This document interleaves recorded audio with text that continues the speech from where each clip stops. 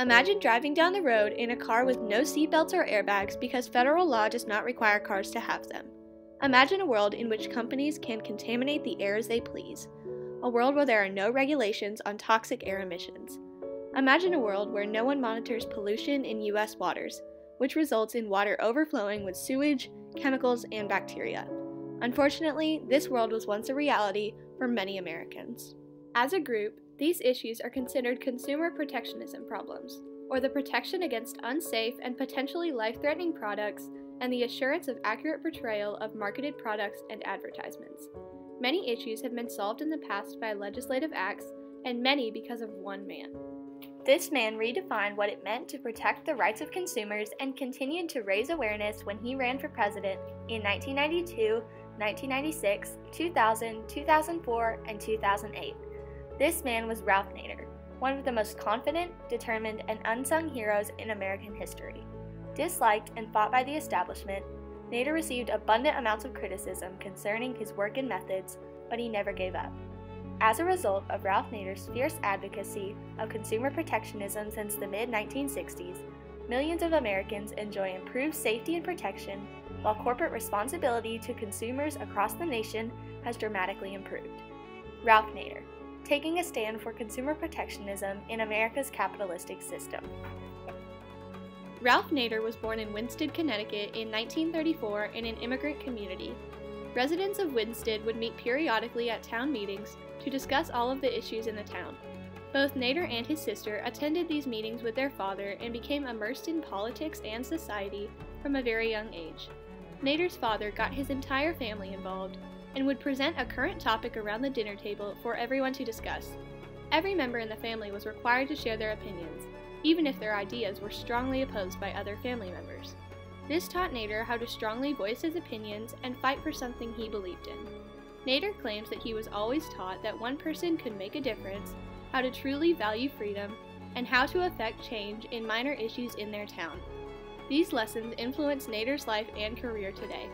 After his high school graduation, he attended Princeton University in 1955 and Harvard Law School in 1958, where he served as editor of the Harvard Law Record. He then moved to Connecticut in 1959, where he worked at a local law firm soon after graduating.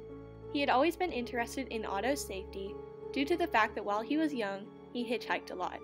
During this time, he saw many accidents and always wanted to fix the issues that caused them. I lost some friends when I was your age in car crashes. And the likelihood of being killed or seriously injured in those days was five times greater than now for your classmates because cars are much safer in many ways. He realized that no one was going to fix these problems unless he did, so he moved to Washington to pursue a solution. After reading an article on auto safety, he decided to write one of his own. So I began to find out that these cars were unsafely designed. They had no seatbelts, no airbags, no padded dash panels. The, uh, the rollover protection was minimal. The brakes and tires were way beyond cars in Europe. And uh, I went to law school and I wrote a, a third year paper in law school on unsafe auto design and the absence of mandatory safety standards. And I turned it, turned it into the book Unsafe at Any Speed.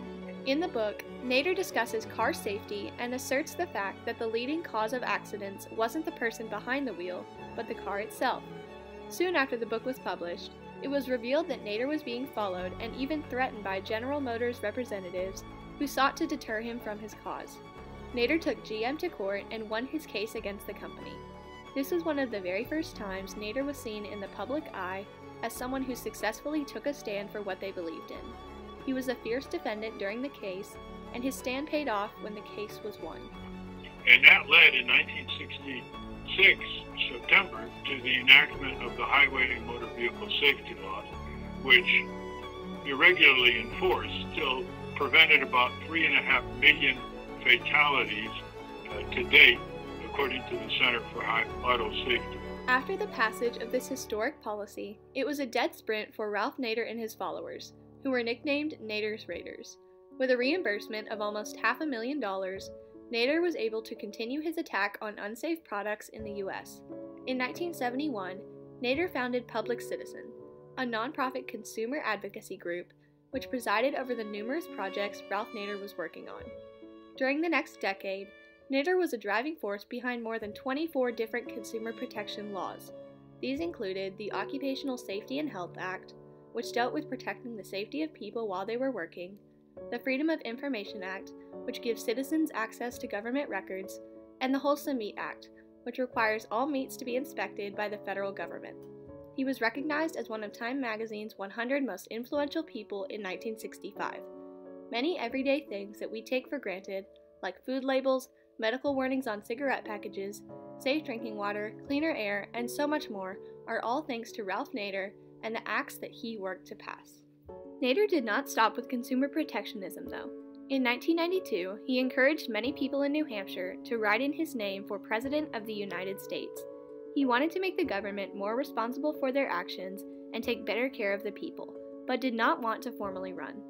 The corporations became so powerful under Nixon and Reagan and uh, uh, Clinton uh, that we couldn't get anything done for the people in Washington, D.C. He received a couple thousand votes. This did not stop Nader, though.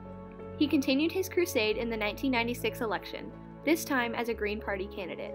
His platform was very symbolic and he did not campaign much, but public awareness of him and his impact increased.